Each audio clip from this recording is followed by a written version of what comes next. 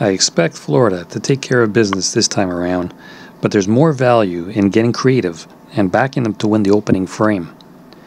Everyone knows that Florida has a prolific offense. It generally doesn't waste much time before pouncing on its opponents. The Panthers scored 103 first period goals during the regular season, putting them 8 clear of the second place Toronto Maple Leafs. Lake Florida, the favorite Edmonton Oilers and Minnesota Wild were upset on home soil in their series openers.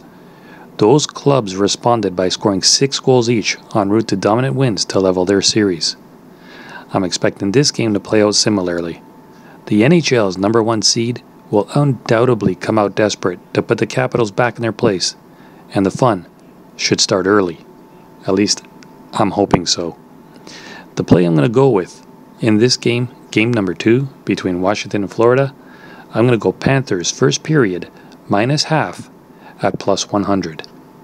What say you?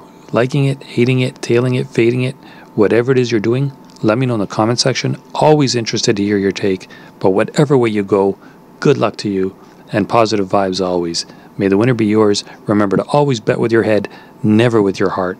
And don't, I repeat, do not bet with money you can't afford to lose. It should always be for fun. Don't take it too serious, or honestly, you'll be down in the hole in a hurry if you're desperate. Take care, gang. We'll see you in the next video. This is Trending Rabbit.